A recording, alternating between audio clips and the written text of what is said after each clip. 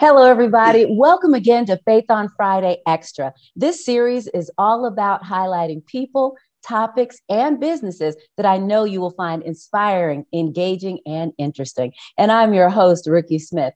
All right, so life coaching, right? We've all heard about it, we've all seen it. Some of us may even know some life coaches, but not only do I know some, I have one with me today. You all, let me introduce you to my friend Richard C. Johnson out of LA, who is the owner, CEO, and chief living officer, if you will, of Huemanity Limited. Hey, Rich, how are you? Yes, it's Huemanity Unlimited. But Huemanity very, Unlimited. Very, Thank you. Yes, yes, because I believe that inherently there is unlimited potential in and around us. I love it. I love it. Now, you are in LA, my friend, aren't you? Yes, I love it more than I think is appropriate. Um, there's so many LA haters, but I love LA. I think they wrote a song, song. something yes, like that about more than a song. Yeah, that is so cool. Rich, thanks so much for joining me. I appreciate you being here. I am so honored to be among your many wonderful interviewees. I've been inspired by you for a while. Oh, since we met, actually. Which was 117 years ago. Exactly. Fortunately, we have time machines, so it hasn't really been that long. It's just been that long. It's been like that long. It's good to see you. So, Rich, tell me a little bit about your life coaching business.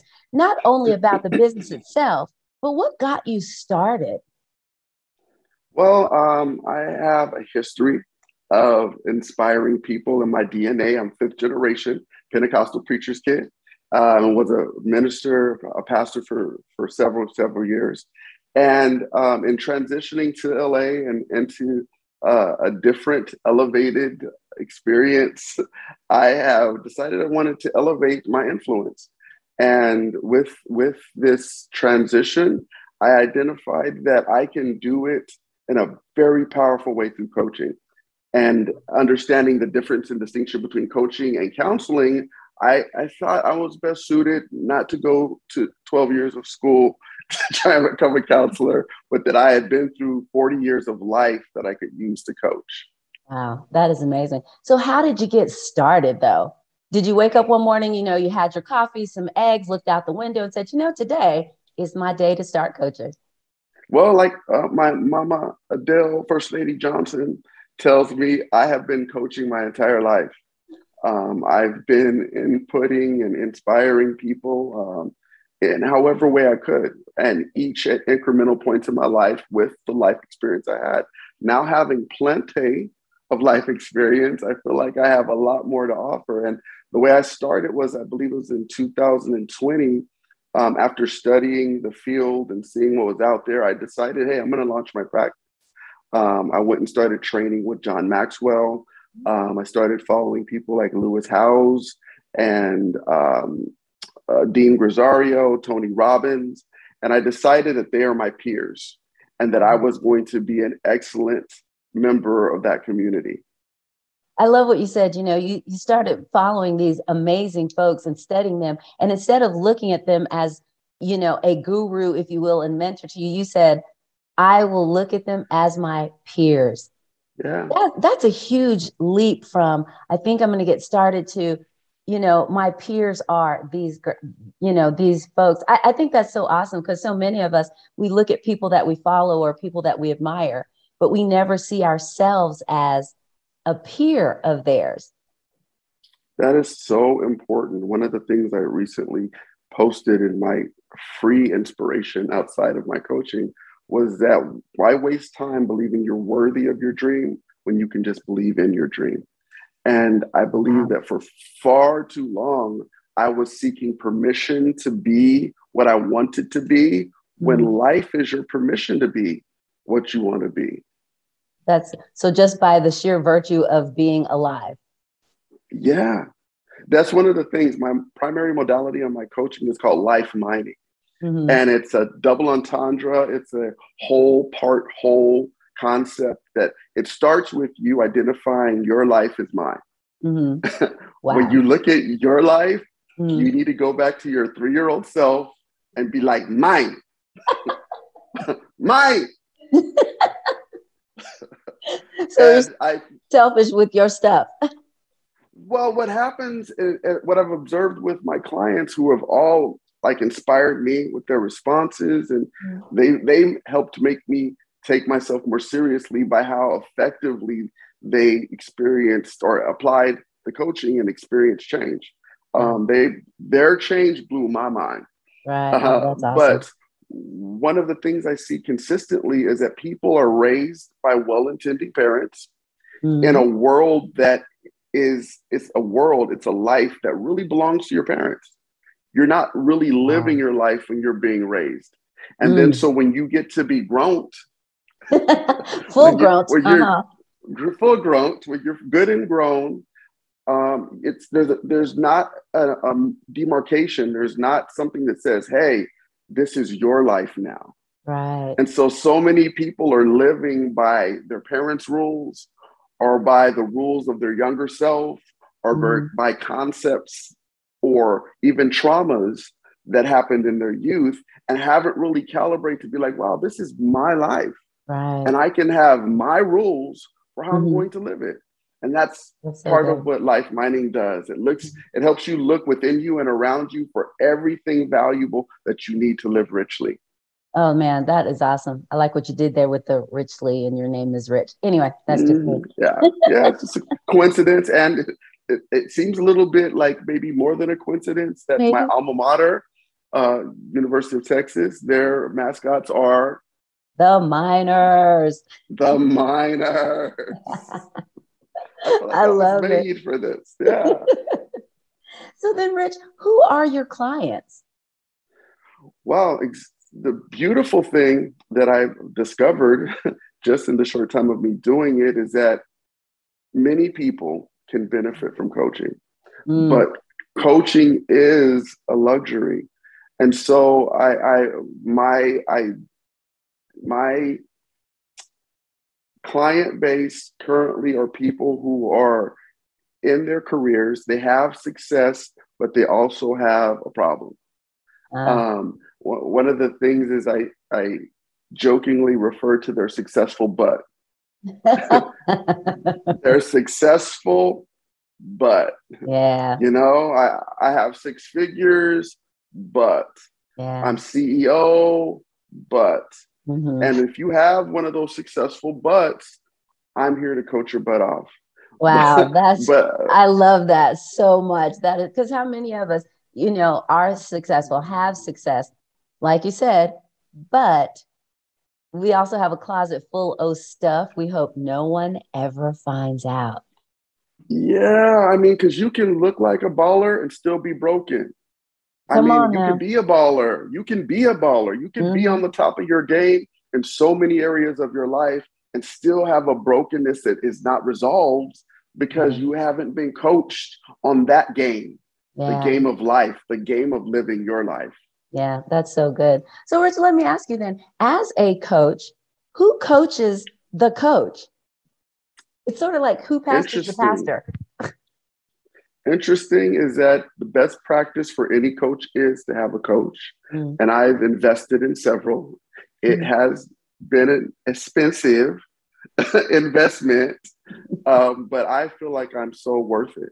Mm. Um, I've played, I've I've invested thousands with other coaches because mm. I can't um, I can't say that it's that valuable if I don't treat it as that valuable. Yeah. So um, I've I've invested to to partner with people like Lewis Howes, um, Tom Bilyeu, Tony Robbins, and Dean Rosario. Right. Um, I I I'm I'm invested in them. Oh yeah, not to mention John uh, Maxwell. Sure. I'm actually going to be certifying with him. Awesome. I believe in March. Okay. And um, so while certification is not a requirement for coaching, mm-hmm. I just value having the maximum influence, um, the, the highest quality, the most elevated coaching experience I can provide is what I want to provide. Wow, that sounds amazing. Now, are your clients are only in the LA area or are you taking clients from everywhere? Actually, I don't have any clients in LA. They oh, are currently from all over. Okay. Um, some are some are in California, Northern California. Um, I have them as uh, far as where is one of them? I believe one moved from Nashville to Texas, mm-hmm. and these are some pretty inspiring people. Of course, I, I can't name who they are, but just they're doing some big things, and to be able to contribute to their life as they contribute to the world, it's mm-hmm. such a great privilege. Man, that's awesome. Now, Rich, we're going to jump off topic just a bit, only because it's me and it's my show. I can pretty much do what I want. So, do you, you know, girl? Do you? you being in LA, tell me, are you a starving actor as well? I, I chose it a long time ago. While I see myself as a performer, an artist, that I would not be starving. I was not going to be a broke artist. So I, I, work, I do different things. I also, in addition to coaching, I consult nonprofits and fundraising. I'm a grants manager. Mm-hmm. Um, but I recently got a um, commercial agent, and I've been doing commercials. And the the commercial agent became full service, okay. and so now I'm auditioning for movies and stuff. I've been on a little show, some you might have heard of it called Westworld, and I was a background actor yeah, on HBO, HBO's Westworld. it a, is, yeah. Wow. that was one of my first. I've done commercials for Walmart. Yeah. Or a commercial for Walmart. I think I've seen and, one of your uh, commercials, actually. You yeah. know what? That was me modeling. Uh, when I first oh, got started, okay. I did um, uh, I did a modeling gig for Stock Photo, and mm. it's hmm. been used several times. People have been sending me where it's been used. It was actually used by the, uh, the Potter's House and TD Jakes when they were promoting one of their speakers' books. Someone mm-hmm. called me and they're like, "You're on, you're on Bishop Jakes' thing," and it was just just just my face. Wow. That is awesome. Okay look you guys there's so much stuff that we can talk to rich about. And believe me when this is over there's so many things i'm still going to ask him. But don't forget all of his information will be in the description below, so you can reach out to him. And if you're looking for a life coach, you'll be able to find him. Don't forget also subscribe to our YouTube channel and give us a thumbs up because we love hearing for you. Rich, my friend, before I let you go, we get to play our game. So this game is pretty simple. It's called This or That. I'm just giving you the choice of two different things. And you, my friend, off the top of your head, just tell me which one you like the best. Are you ready to play? I am ready. All right, let's do this.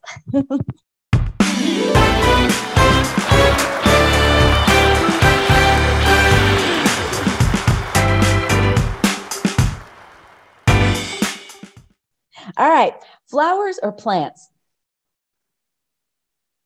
Uh, can I say both? Yeah, of course you can. Uh, I love both. Okay. Hotel or tent? Hotel. Really, you're not an outside glamping kind of dude.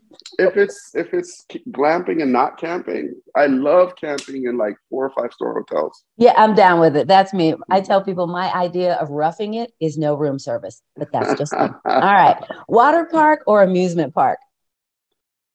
Amusement park. Mm. I don't want to be in all them liquids of everybody, all them juices. Sitting in other people's juices is not my idea of a good time. I've got I the ocean. with you. I wow. Practical joker or I don't play like that. I don't play like that. No, me neither. Mm-mm. Candlelight. It's all fun and games until you get your eye poked out. Right. It's all fun you and know? games until somebody puts you on Facebook. So somebody okay. gets hurt. Yeah, got, people got cameras. Come on. We don't need to see that. that. I know. Nobody got no Candlelight or moonlight? Hmm, how about candlelight under the moonlight? Well done, sir. Well done. Planner or make it up as you go? Come on. Did you yeah. did you need to ask that one? I, it's not me. These are for those I, watching. I have to say both because I do appreciate a good strategic plan. I mm-hmm. love strategy, but I'm pretty comfortable winging it too. Okay, for those of you all who don't know, Rich will wing it any opportunity can. Moving on, just so you know, okay? I go all day or I need a nap. Wow. Um, I have learned to appreciate a good nap. uh, I, I, and I and I and I value uh, regimens that require me to go to bed mm-hmm. earlier than I'm comfortable. So I have to say, the power nap is my choice. Okay, I'm with that. Okay, in your speech, is it pecan or pecan? Hmm. You know, I think I tend to say pecan. Hmm. I'll be listening for it later. When you meet mm-hmm. somebody, what do you notice first? Their eyes or their smile? Um, I have a tendency to stare at people's mouths that I just recently identified with all the mask wearing. ah, yeah. and so um, I think I identify with their smiles and I have to train myself to look them eye to eye. Okay. I, I see that. Okay. Are you a words of affirmation guy or an acts of service guy? Both. Mm, I like it. Me too. And finally, my friend, what would you now tell your younger self? Oh, great question. Um, that you are more than you think you are. You can do more than you think you can do. Um, the value of your life experience is entirely and only limited by you. Oh, that is so good. That is so good. All right, everybody. I know you've enjoyed it because I have enjoyed it. But don't worry, there's more to come next week. I'm Rikki Smith, and I'll see you next time on Extra.